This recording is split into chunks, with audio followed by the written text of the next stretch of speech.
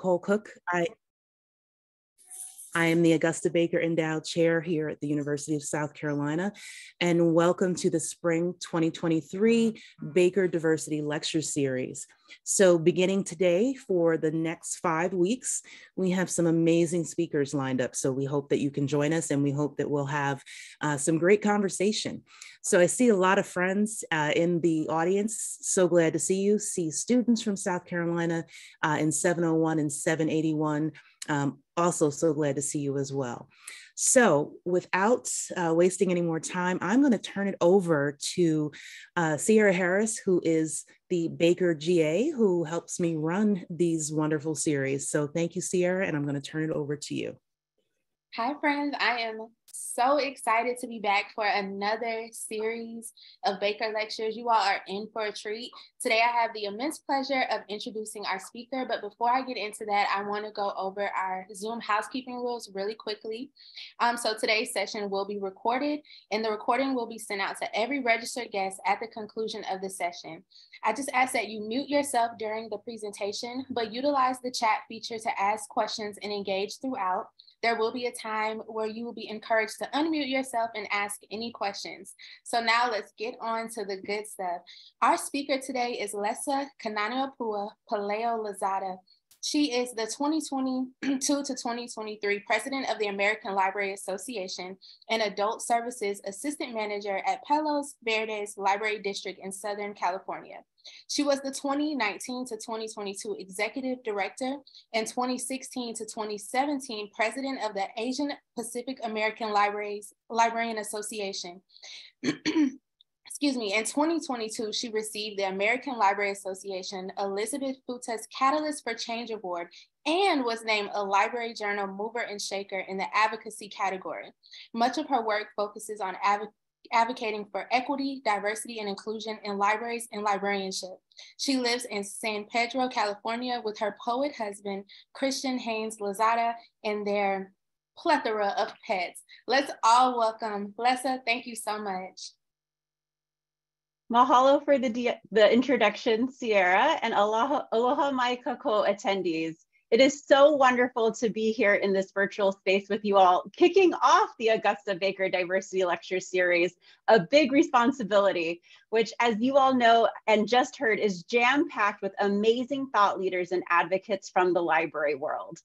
I've heard so many stories of bravery during my time as ALA president. And before I get into sort of the meat of my presentation, I hope you'll indulge me as I share some of those stories and experiences because nothing we are doing right now in libraries is easy. And the stories that I have heard throughout my travels, both in person and virtual since I took over as president in June, have demonstrated our resiliency, our desire to build strong communities through libraries, and our creativity in bringing our ancestral knowledge and power with us to do so, as well as just being inspiring and helping me to get through every day.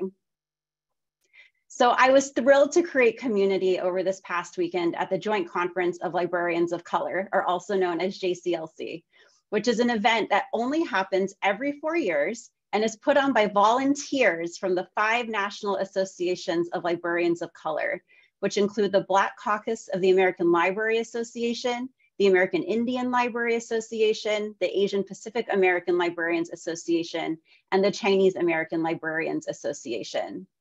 Having served on the steering committee for the 2018 JCLC, I know just how much effort goes into providing and creating a space where we can speak openly about the oppression and systemic barriers our librarians of color and our communities of color face every day in libraries. And I also remember as a first time attendee in 2012, I remember how life and career changing the event can be.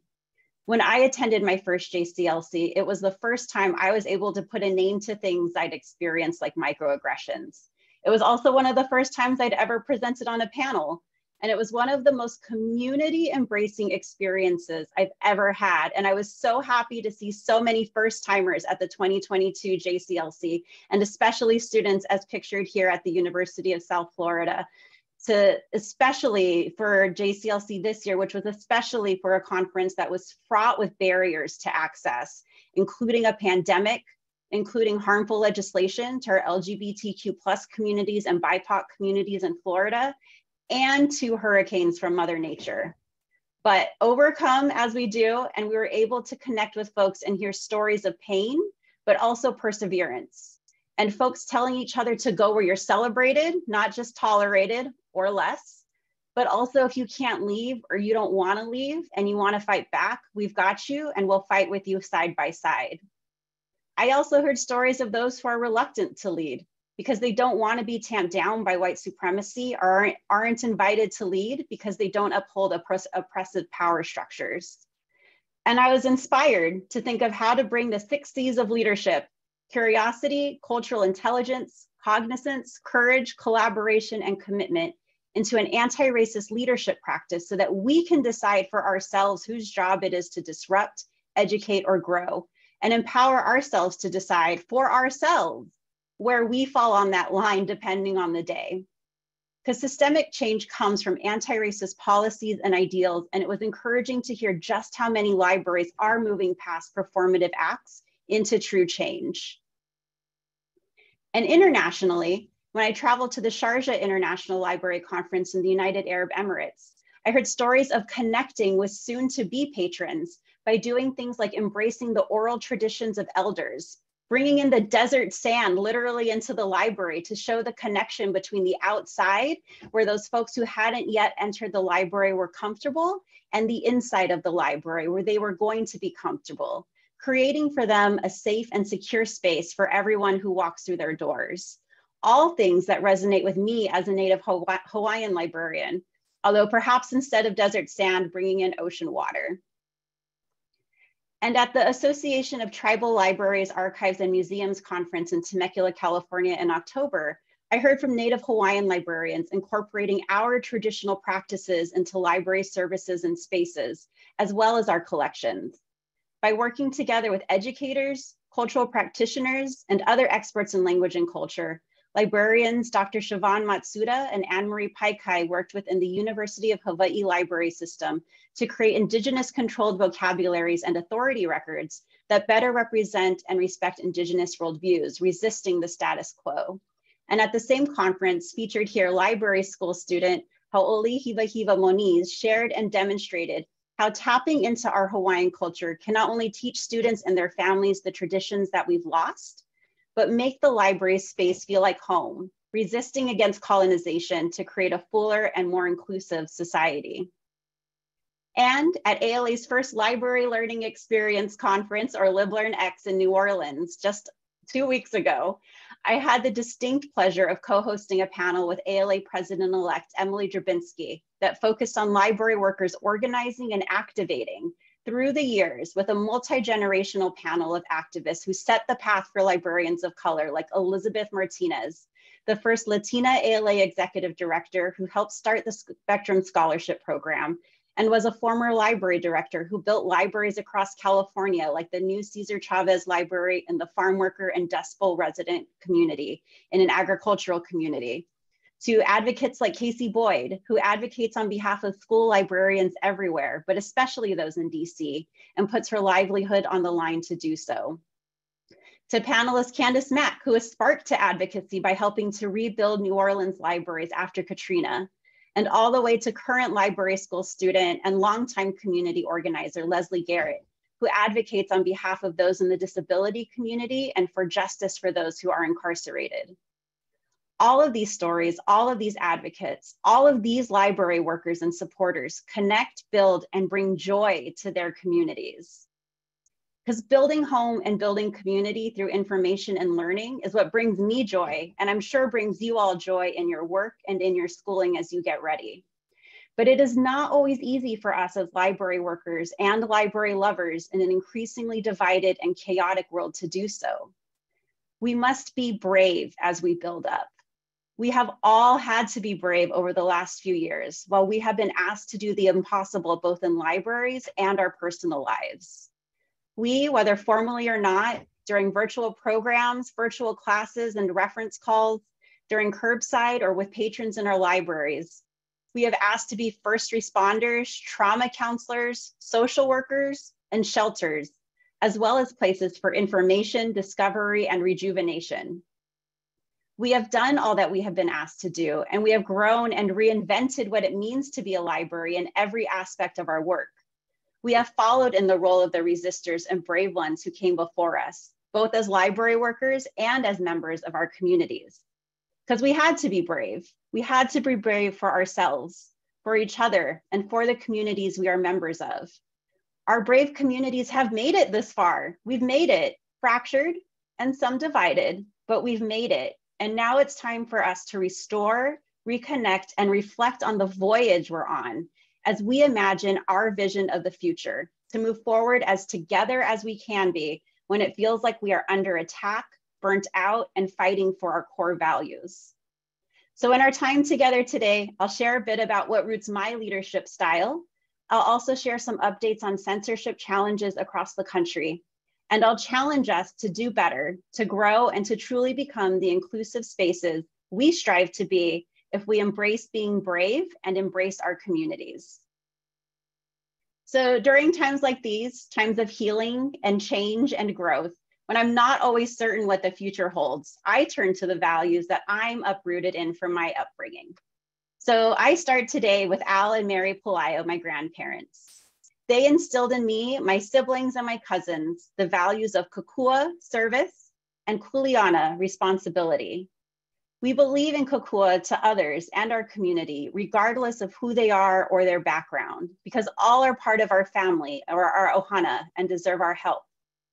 My grandparents demonstrated a life of service to us by growing the Hawaiian community in Los Angeles away from our homeland creating civic clubs, festivals, and supporting hula schools, perpetuating a cultural life for Hawaiians in California.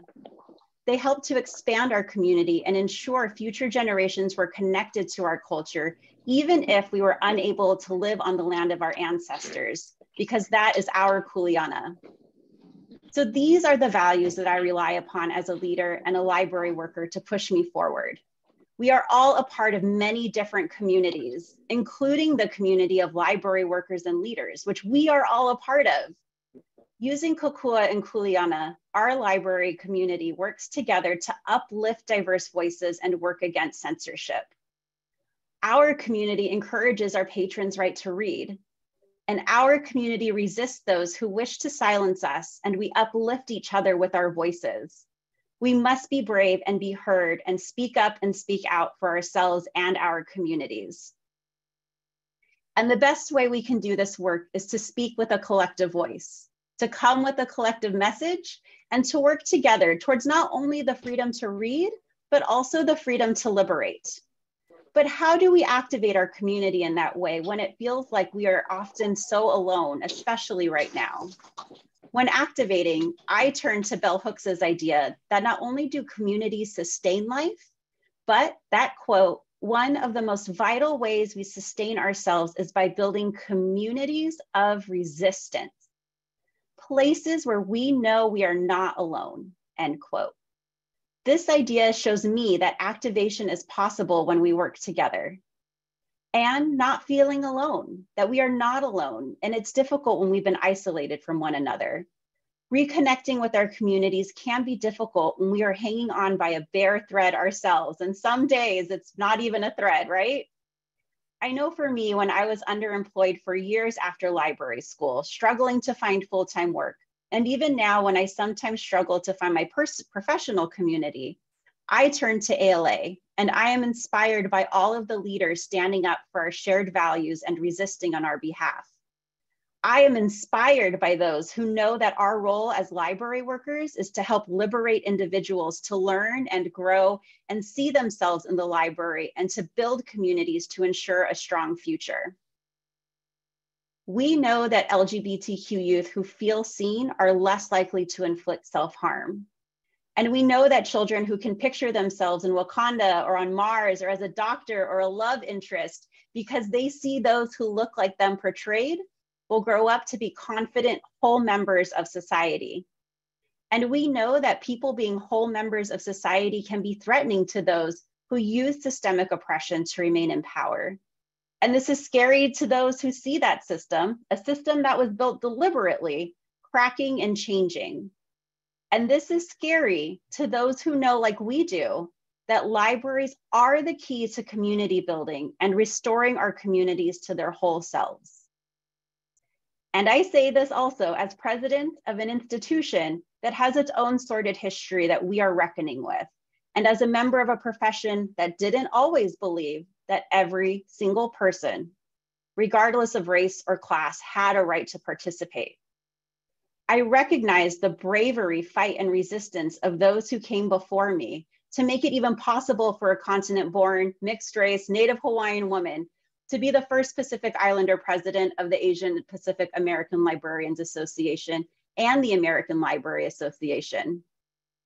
I honor folks who modeled resistance and community building in ALA and out, like our founders of the National Associations of Librarians of Color, who allowed me to see I and everyone might have a place in ALA and in our libraries and those who built and continue to build up institutions in direct responses to injustices within the system, in turn, push the system to change.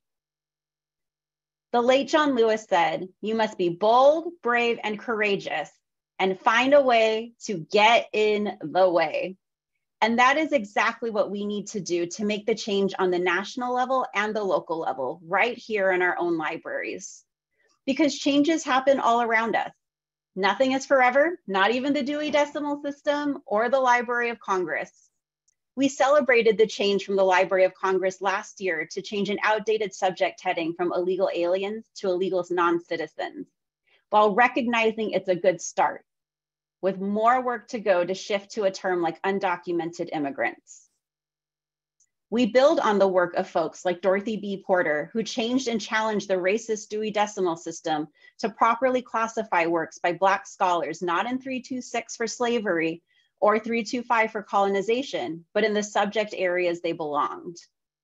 I modeled this example of resistance in my own library and reclassified numerous works by and about Indigenous mythologies and creation stories from the 398 folktale and fairy tale classification to the religion section where they belonged, along with Greek mythology and Norse mythology.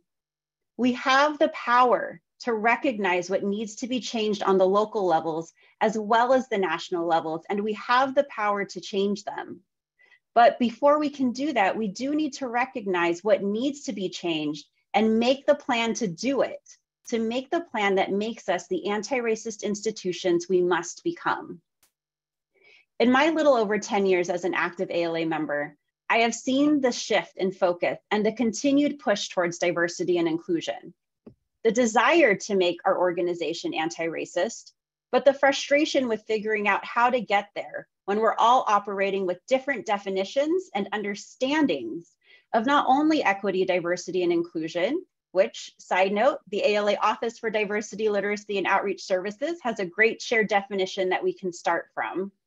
But not only because we have different understandings of the foundation of this work, but because we have different understandings of how this work must be done in order to be successful. We've had over 20 years of spectrum scholars, and the profession's diversity needle has barely moved. Much anecdotal evidence points to difficult environments for people of color, working in systems where we are often the only one, where we have to explain ourselves over and over again, where we are not trusted and uplifted and have to struggle to be heard. Programs like Spectrum show the value of what a community can do for BIPOC and for all of us, even if we do feel alone, and show us how we can use bravery to get in the way and make good trouble and local groups like Na Hawaii Imiloa for the University of Hawaii Native Hawaiian students make the space to be Kanaka or to be Native Hawaiian and share with each other what it understand and understand what it means to be in a profession in a colonized world and a colonized profession and how we can move forward from that. I want to emphasize also, though, that inclusion and diversity are not limited to race, although we start there because race is the greatest predictor of one's life outcome. I want to recognize that our institutions are also not built for our disability communities, our neurodivergent communities, and colleagues. And the need for universal design to be incorporated into our work is essential right now. So, what can we do? What can we do as a community right now for this, for all of this? How can we support the resistance necessary to make real change as we continue living with COVID? We are poised perfectly for that real change coming out of the last few years that actually made many programs more accessible for folks by going virtual and or hybrid and incorporating those principles as best we can and advocating for the budgets necessary to make that happen going forward. We don't have to go back to all in person. We don't have to go back to packing ourselves in like sardines and focusing on people who are comfortable in large crowds and extroverted ways of living, says this highly introvert, especially after the last few years. We can incorporate the voices of the many and create things that are for those who need them and will benefit them, rather than focusing on the needs solely of, quote, the majority. We can start by actually listening to and reading the words and demands of those being brave, of those resisting, of those resisting with love, who are trying to make us all better and connecting action with those words. Sometimes that means getting out of the way and letting someone else take the lead. Sometimes that means putting money towards donations to programs like Spectrum or National Associations of Librarians of Color, or memberships to organizations like ALA, or on your home institutional level, going fine free. Sometimes that means feeling the weight of responsibility and of being of service to your community. It is intentional that the folks whose names and mana I've invoked today are all people of color, most of them women. I use these examples and I elevate these stories and quotes and ideas to emphasize what happens when we are brave and listen to our resistors and see the change that happens in our communities and our profession when we are of service to and are responsible for each other. Four, ALA is a place for us to be of service to one another and our values, to work together to make the world that we want to see, to try out new ideas and make change. It is not easy, it is often slow, and it is often difficult. And the work should not be entirely altruistic. We get things back from our investment in our national associations. Sure, there are webinars and discounts and conferences, but there are also skills and leadership development that will take us and our cause even farther. I learned the best project management skills through ALA. Coordinating volunteers across the country with varying levels of capacities to work towards a common goal, many of them deans and managers, and me, a children's librarian. While we get, while we definitely get all of that in libraries, we get it on steroids in our national associations. My supervisory skills continue to be honed by pseudo supervising volunteers who don't have payment hanging over their head as a motivator. I've had to learn how to motivate groups, and I've had groups and networks that I could rely upon to help bring clarity to my day to day work. Was my library unique in its challenges? Were my managers unique in their shortcomings or their strengths? I learned that rarely was my library unique, and often our challenges are shared and by sharing with others outside of my library, California, and heck, even the US now, as ALA has a fair amount of international members, I learned new perspectives on how to move forward the work, then how to be brave for my community. But it is not always easy being of service to ALA, being of service to our communities and our libraries, and being of service to ourselves. As the great Leslie Knope aspirer, I had to learn that shirking sleep and all other responsibilities for the library good is not realistic. The number of times I've had to say no to preserve my own sanity until I could come back to the work, while it probably should be a higher number, should also be celebrated. And you should celebrate the times that you balance yeses, nos, and your capacity to do the work of real change, we have to make sure we are doing it with intention and meaning and within the capacity that we have. Burnout is real. Some of us may be there right now as we are here in this space. And the real work that we need to do together, on top of the work that we do on a daily basis on behalf of our institutions and our families and our friends, is not small or light work we have to constantly restore ourselves to be there for others and find that joy. But for those of us who are in power and can also make change, we also need to advocate for our colleagues and staff who do not have that same power so that they don't burn out. Encourage taking those vacation days and monitor the workload. We are all asked to do more and more and more. And at some point, we cannot take on anymore and have to say no. But we need the support of those hierarchically above us with the power to do so to put a stop to that continuous build. We live in a capitalistic society. We understand that. But we don't have to perpetuate the pain and trauma that comes with it, particularly in a service profession. We have to advocate for fair, safe, and equitable working conditions and fair pay. We have to embrace the systemic mechanisms we have to do to do that, like ALA's Allied Professional Association, an established organization that currently provides certification and salary surveys to the profession, but which ALA President-elect Emily Drabinski and I hope to grow into an advocacy arm for library workers, which is what we need right now. But we cannot do these things alone. Advocacy at all levels takes organizing. And when we do that work together, when we organize together, the load gets lighter and we build community along the way. And we grow and shape our own futures together. Hawaiian scholar and activist Haunani-Kay Trask said in her defining book from a Native daughter, resistance must be its own reward. We often will not see the fruits of our labor, especially when we are talking about justice in our lifetime. We must trust that our resistance will set the stage and make the path for those who follow us easier so that their resistance builds to create communities of love and strength that we were never, never able to imagine or envision together. When I hosted our first ALA Connect Live of my presidency, I heard from individuals facing book challenges and censorship head on in their school library, in their state, and in their public library. Each individual resisted the forces working against them, a task which is not always easy and can take a mental and physical toll in a way that worked for their community and their individual style.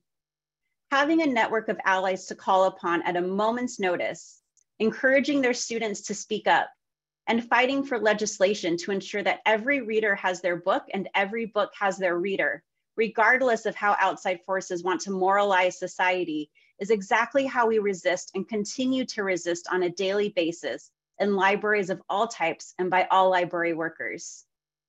So I ask you all today, how will you resist? More importantly, how will you build community? How will you root yourself in love to do this work? in service or responsibility or both. And I also want to be clear, I am not asking us to further engage in vocational awe as Fobazi Ettarh talks about.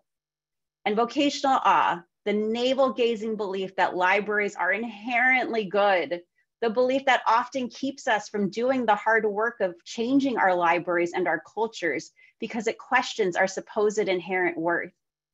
I am talking about the responsibility we have, one which I feel Ettarh also asks of us to push vocational awe aside and look at libraries in the raw, to embrace critique, to improve, to deconstruct, to bring in new ways of knowing and classifying and amplifying the work of folks like Dr. Sandy Littletree, who teaches about the intersections of Indigenous systems of knowledge in the library.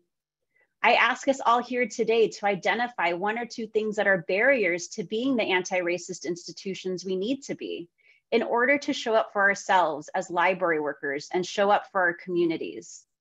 It can seem like something as simple as signage, like Hawaii's public libraries having dual language signage in both Olelo Hawaii and English, or incorporating traditional cultural practices into outreach, by providing an intergenerational story and activity hour that promotes Hopi language learning through the Hopi Public Library Bookmobile.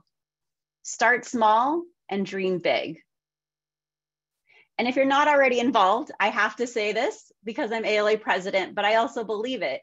I hope you'll all join me in ALA as we identify what needs to be done and do this work. Passionate people make up ALA, as seen in this photo of Spectrum scholars and non-Spectrum scholars but supporters with past ALA President and Librarian of Congress, Dr. Carla Hayden. There are many ways to do passionate good work. While serving on committees and volunteering is one way, it is not the only way to make ALA better. ALA is a member-driven organization. Each of us is ALA. When we speak out on blogs or Twitter or to school and library boards, we are speaking as ALA. When we say ALA needs to do this, say that all the time.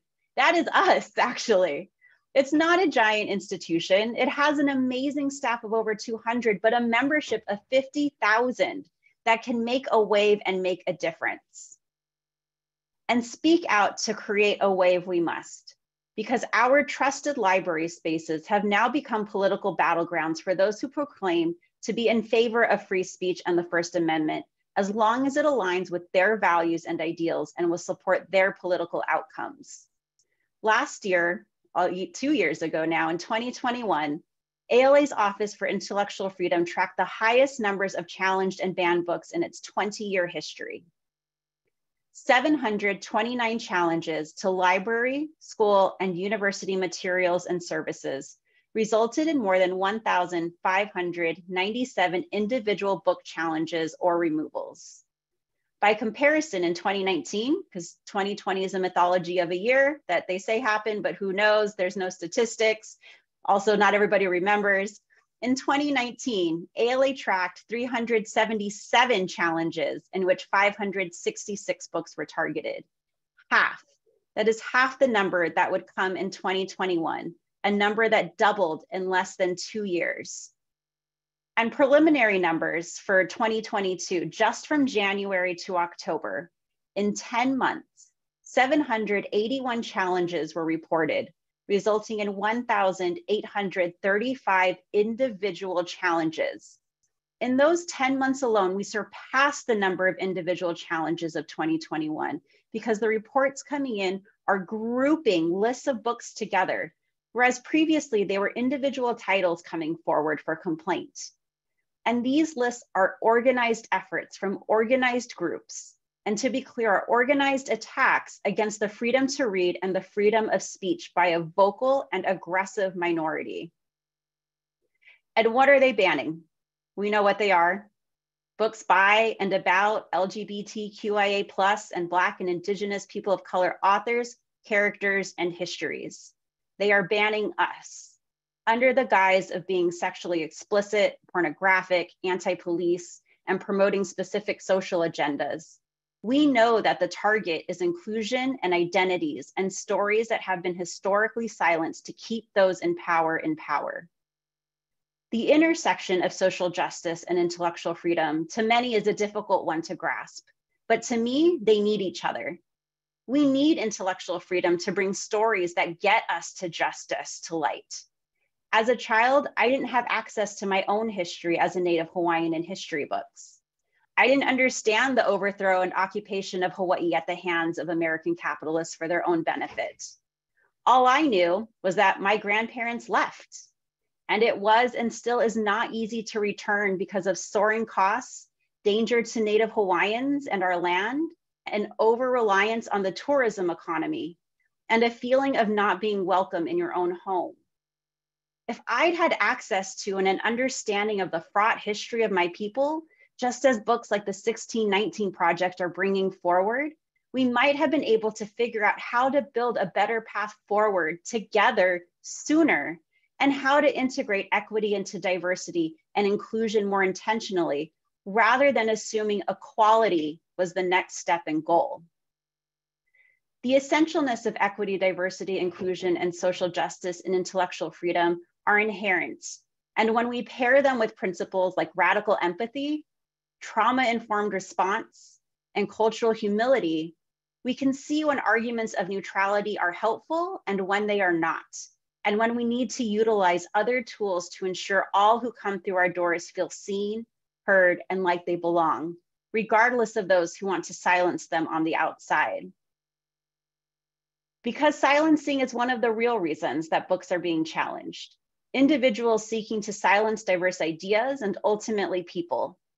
To silence these challenges, need, these challengers need to abolish free and equitable access to information, and they need to erode this country's commitment to freedom of expression, freedom of speech, and the freedom to read.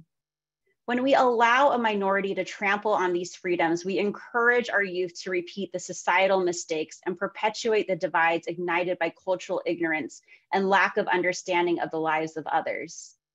And a minority of people it is that support book bans.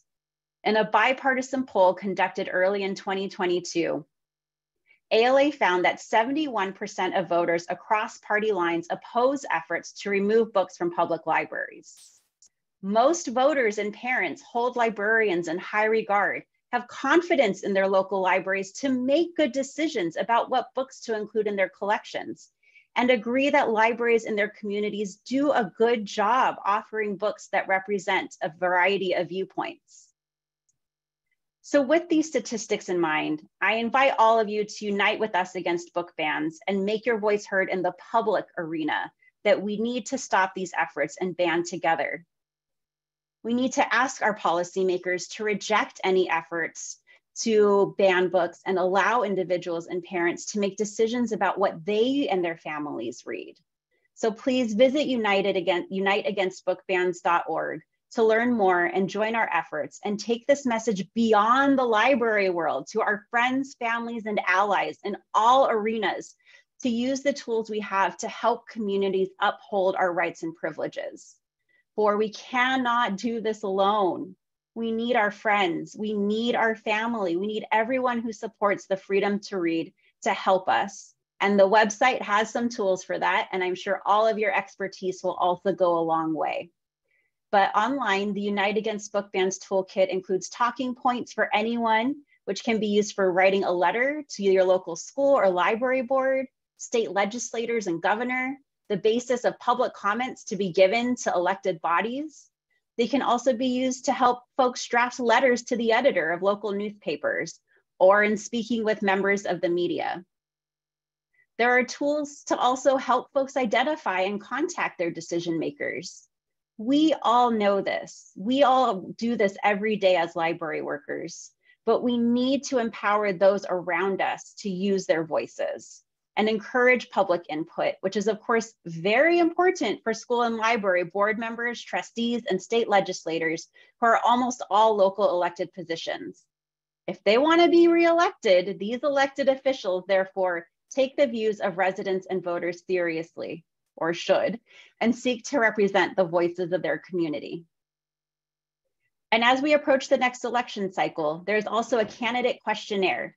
So folks are involved in a local political organization, trade union, advocacy group, I've seen some state library chapters use this, like other influential community organizations. The candidate questionnaire is a great tool to help assess local candidates running for office and their position on book bans to make it public. And the toolkit also has tips for grassroots organizing and to raise awareness to the issue, stage peaceful protests, and more.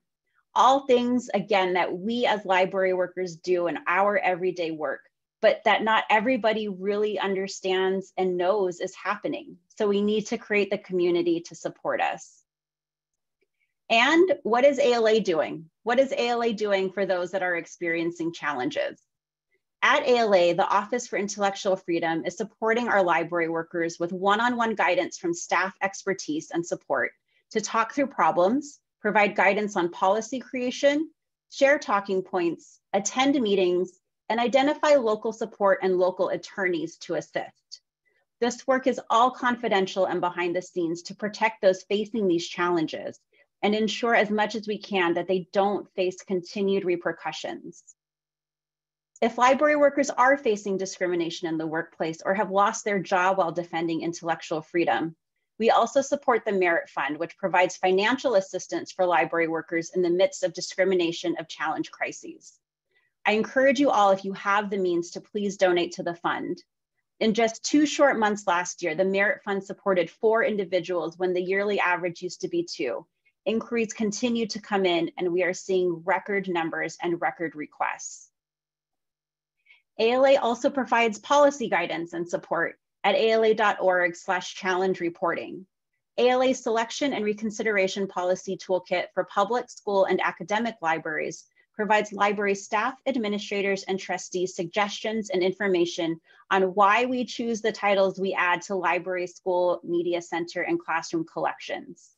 If you are experiencing a challenge, please make sure you report it and if you need help in whatever realm it is, please know that we are here to support you. And as I say that, we also know that support is not enough. We are looking for ways to be proactive in this fight because we know it isn't going away anytime soon. It is time for us to lead the strategy, and we are working on ideas that we hope will take us there over the next year or so, and that I hope to share with you all soon. The fight, all of them, all of the fights that we are fighting in our libraries, not just against censorship, but also against white supremacy and oppression, and the fights for funding and safe workspaces are all advocacy. And they are all long term fights, for that is really how systemic change is made. That system wasn't made overnight, and it will take a long time to dismantle it. And we need each other to do that. And advocacy takes many shapes. And I encourage all of us to be not only our own advocates, but again, advocates for each other. As we start heading towards the end, I'd like to invoke Hawaii's Queen Kapiolani's Olelo no Eau, Kulia i ka nu'u, which means strive for the summit. It is a saying that encourages us all to continue striving towards better, towards good, towards excellence. It is up to us to strive and do the work. It is up to us to ensure that the path that was set by the resistors who came before us continues forward and is built upon. And as we strive, I encourage us to be brave, work in community, and take care of one another in the name of justice to stand up for our values of equity, access, intellectual freedom, and social responsibility, and not cower from critique, but embrace it and embrace resistance. For resistance is the reward. And when we build communities of resistance, we sustain ourselves and know that we are not alone. But most of all, I want us to remember to be brave for our brave communities. The future of libraries, if we are to be truly community focused and community spaces like we are trending towards, is rooted in resistance and love, but also bravery and listening. Encouraging our community members to be partners with us in building our programs and services and defending our freedom to read is essential. So be brave, be vulnerable, and purposeful. Know that your voice matters. And know that working in a library, supporting those who work in libraries, getting ready to work in a library is an act of bravery every day because each one of us joined here today is a leader. Because every day we are working for true equity, diversity, and inclusion. Every day we are making the intentional choice to make ideas of all kinds available to anyone who wants to learn about them. So please share your idea to improve the library, to improve the association, to improve your school program. Offer to coordinate a project, no matter how big or small. Speak your truth show up for your colleagues and be supportive of them. And also give yourself a lot of credit and a lot of rest. And give yourself the gift of knowing that you've done the best you can and will continue to do the best in the face of adversity because you've already done a lot. So, as we close up, I want you all to think of one brave thing you've done for your community and one brave thing you've done for yourself. And again, please remember to kokua to embrace your kuleana, to build communities of resistance, to be bold, brave, and courageous, and find a way to get in the way. No resistance is its own reward, and unite against book bans. And of course, kulia ikanu'u. So mahalo for allowing me to be here today. I am so grateful to be here with you virtually. I look forward to hearing about your stories of bravery and resistance and how we can support each other going forward. Thank you. Lessa, thank you so much. That was amazing. While people are thinking of questions, uh, we, we have plenty of time, so please feel free to enter your questions.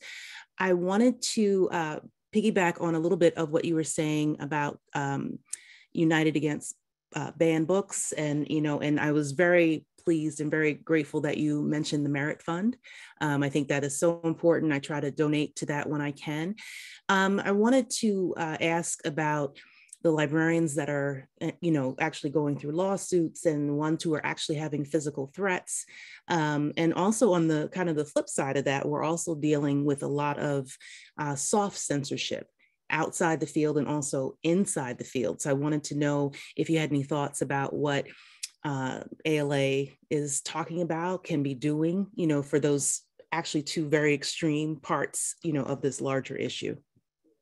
Yeah, absolutely. So, some of the ways that ALA specifically is helping is to connect folks with resources, right? If they are experiencing harassment, um, to connect them with local entities that can help to protect them, as well as work with their library directors who may not have ever experienced some of this before. You know, I think that's one of the really challenging things about leading in this time is what you thought it was going to be is not what it has been at all. And so, you know, just like in parenting, library directors are also figuring it out you know as they go along and i think we have to remember that that sometimes we also have to tell them what they need um, and i didn't mention it directly but i do want to mention the freedom to read foundation um, which is an allied you know um, organization with ala that focuses a lot on the legislative impact and can also help be um, co-signers on legislation with the ACLU and with other areas. And so if folks are experiencing these issues to also reach out to the Freedom to Read Foundation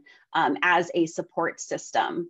Um, but I think also that what we are working on right now in ALA is um, creating a lot of trainings for folks who are going through these issues, especially school librarians. Um, there are going to be a series of webinars and such that will be rolling out over the next couple of months that are being tailored. I'm also hoping to focus my um, probably final ALA Connect Live um, on what we can do and how we can support librarians who are going through this.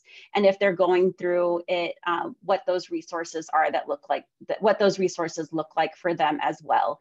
Um, because it cannot just, we can't self-care our way out of this. Um, it's not just about boundaries and that kind of thing. It has to be a systemic, a systemic and bottom level um, aid. Mm -hmm. Excellent, thank you. Um, so our first audience question is from Tammy. Uh, Tammy wants to know if you have any suggestions for trying to get library systems in slow changing areas to go fine free and become more inclusive. Tammy said that she was inspired by her MLIS program and ALA programs about more equitable practices, but she doesn't see them locally. She tried to get involved with her local board of trustees, but and she says she was basically laughed away. And she said that she's not sure how to proceed. Yeah, so Fine Free is a it is a slow journey to get to. So my library just went fully Fine Free um, at the beginning of this last school year. Um, we had been talking about going Fine Free for many years, but it takes a lot of convincing of the board to be able to do that, and an administration that is all in. And so what I had uh, talked about recently with one of our librarians who's been here for 20 years, right? She's been talking about going free since she got here for 25 years, is planting the seeds and having the patience to know that it is going to be a long journey and proving what that journey looks like every step of the way.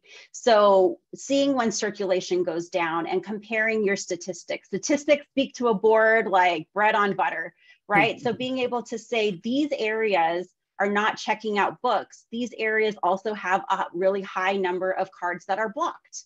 Being able to show those kinds of things are really important, as well as being able to articulate the barriers that come with library fines and fees to what are oftentimes historically marginalized communities. Mm-hmm. And so being able to make that argument and show examples of other places where it has been successful has been really helpful. And also understanding that you don't have to do it all at one time.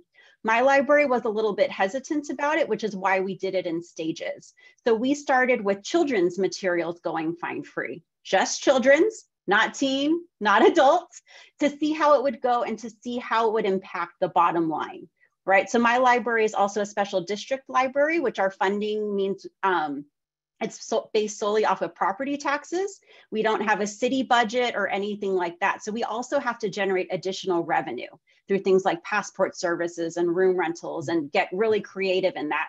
So our board was very nervous about it. So we did a one year pilot just with children's materials.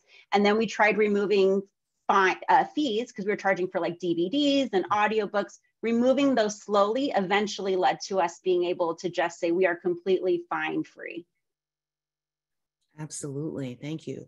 So we have a couple of more minutes, so we still have time for questions. Um, Lessa, this may be, you know, taking a little bit of a shift, but you mentioned um, room, room rentals. And I know that that, you know, can become, yeah, you know where I'm going. I know where um, you're going. Yeah. Um, that can become a fraught issue um, in terms of you know who is allowed to use different rooms and you know then that gets caught up with you know the fa- the fallacy of neutrality and things of that nature so um, wondering if you could talk a little bit about what your library does and your thoughts about you know that larger issue as well yeah, so this again is where a strong library policy comes into play. One where you outline the types of groups that are able to um, to use your room and to rent out your room. So we allow discounts also for nonprofits, but pretty much anybody can create can create a nonprofit. So nonprofit does not always mean that you are able to create an inclusive and safe space for those who come in. And one of the things that we also have um, for nonprofits is depending on the fee structure that you're using, you might have to open it up to the public. And so anytime we have one of those things, you know, our policy is fairly broad, but also states that our renters need to need to align with the library's core values, need to align with the library's strategic principles and mission, and our library strategic principles, mission, values all clearly articulate that we believe strongly in equity, we believe in sustainability, we spell it out so that there is no question on what types of behavior is permissible and is not permissible and what types of programs are permissible. So I think that one of the things that get into sometimes a little bit, bit of a gray area, right? You may not always know what the group that's renting your room is for. So we had um, a, a group rent a room recently that on the calendar invite, it said something like voters who voters who are against poll rigging right and so it was like okay so these folks don't believe that the last election was fair what does that mean what does that mm-hmm. look like as we have our patrons going in and out of the space. And so they're not necessarily doing anything, they're not necessarily saying anything, but we also want to be on alert, right? We want to have more staff on the floor. We want to make sure that um, this was a closed one, so it was not open to the public, which helped also. So we weren't necessarily endangering our folks to, to go into that space. Um, but we were very mindful of what the logistics around it looked like as well. So meeting room rentals are can be very messy. We've been very lucky, I would say, in my community um, to not really have had had any controversial ones. Mm-hmm. Um, and and folks know kind of um, that we are not going to tolerate it. I think mm-hmm. is also what helps us. Yeah, yeah, that was a meandering answer. Sorry. No, no, no. I mean, it's it's a complicated issue, and I think you know a lot of people don't know how to deal with it. I think it relates to what you said about directors, just like parents, are figuring it out as they go along. I mean, we're in a very different world than we were five, ten years ago, right? So many different or much different uh, and more complicated problems. So, with that um, kind of train of thought in mind, what would you say uh, to the students on today's call, you know, that are aspiring information professionals? Um, what is it that they need to know? If they were coming to you for um, a position, what are some of the things that you might look for uh, in, in new uh, information professionals? So the things that I look for, because I do, I am a hiring manager. Um, I hire on-call librarians who are traditionally fresh out of library school or finishing up their degrees. Um, I believe that a lot of what happens, especially in public libraries, the nitty gritty of it, we can teach that. Yeah. We can teach you how to check out a book. We can teach you how to use the catalog. We can teach you how to fix a record.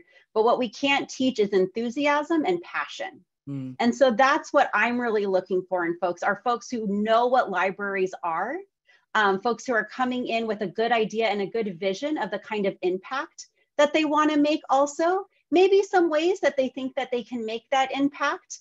Um, but folks who just really care and folks who also, I think, have a good sense of boundaries, especially in a public library setting. You know, one of the questions that we often ask is dealing with, quote, the difficult patron. You know, what happens if someone is yelling at you for something that's not your fault? Or what happens, you know, also if we're dealing on the front lines with folks who are experiencing homelessness or don't have the resources that they need? How do you help them? And so we're also looking for folks who can be empathetic mm-hmm. um, who can connect to resources, but who also can protect themselves and who aren't going to get burnt out right away. Mm-hmm. And so starting to think of the ways that you set those boundaries with patrons, I think is really important. And especially in practicing that language, because it's not always easy when you have someone in front of you and your heart is bleeding and you want to take them under your wing and help them and, and do whatever you can. It's not always possible. And so really having a strong sense of self and what you can and can't do, I think is really important for right now yeah. in the hiring process. Sure, yeah. sure, sure. And you know, just to um, add to that, I think that this applies to any library type. So our academic librarians, school librarians, you know, you're going to need boundaries in any setting. Absolutely, absolutely. So that was it for our questions. Um, please join me in thanking Lessa for this amazing session. We are so grateful that you are joining us today and kicking off our 2023 season. And for our audience members, thank you all so much for joining us today on a Thursday afternoon. Um, Sierra just popped the link into the chat. She'll pop it in again. We hope that you will join us for the rest of our series. Um, like I said, today is the beginning of a five week series.